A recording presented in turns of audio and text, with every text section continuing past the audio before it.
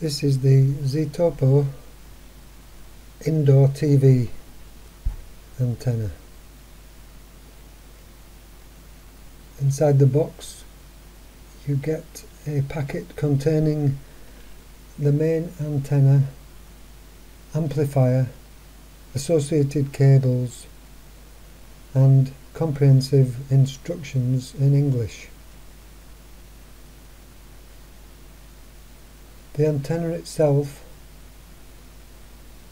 is actually already attached via a good length cable.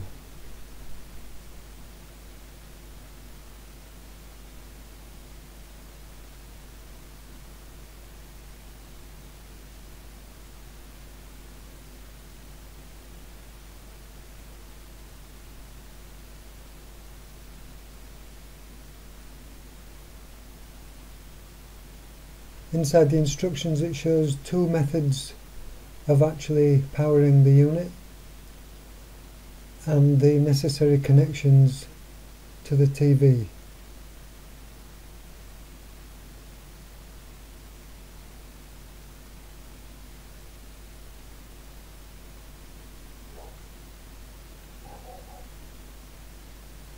The antenna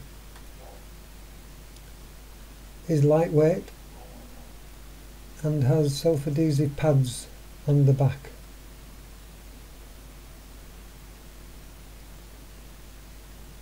It has quite a long cable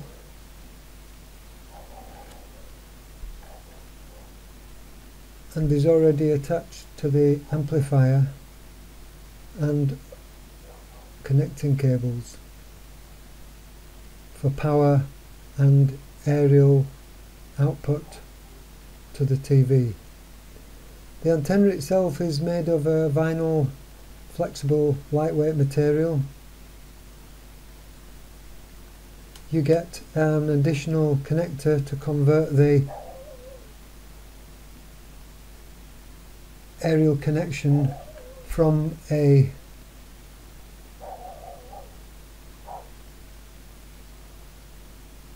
satellite type connector to a standard area UHF aerial connector.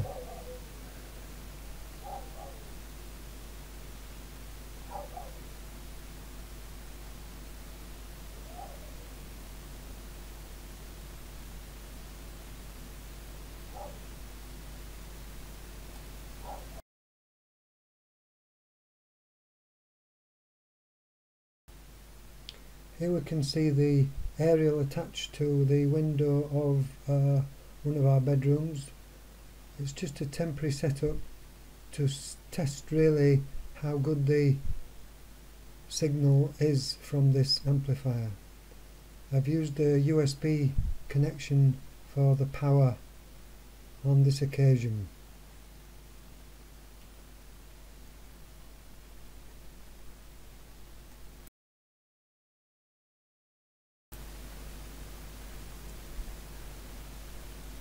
As I said the power on this test is from a standard phone power supply. The window on which it's attached is not a particular window facing the direction of the TV transmitter so it will be quite interesting to see how good the reception is there is no setting up in terms of adjustments or anything other than to initially tune in the TV and straight away without any further tuning on this TV the picture's excellent. It has the full range of channels that we would normally expect in the UK and they're all rock solid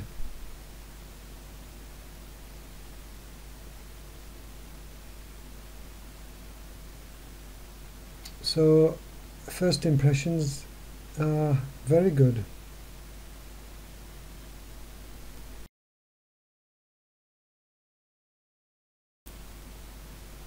here we can see the aerial connection to the TV. I've used the adapter convert from the satellite type connection to a standard UHF antenna connection. You can see the uh, LED power light on the amplifier and again the TV picture quality is excellent. As I said this is not a particular uh, window pointing in the direction of the antenna or other aerials mounted on people's other houses roofs etc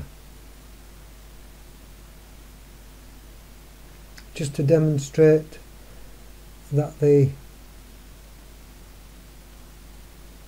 signal quality is as said when I unplug the power supply there we are no signal whatsoever.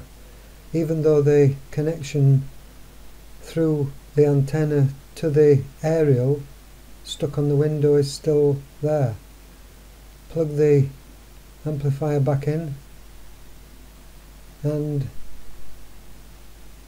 there we have the high quality signal back again. Very good.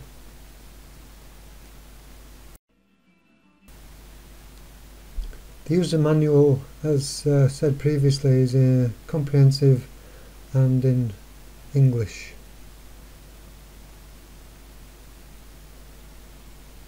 It shows two methods of connection for the power. The one that I used was shown at the top where you power the take the USB power from another power source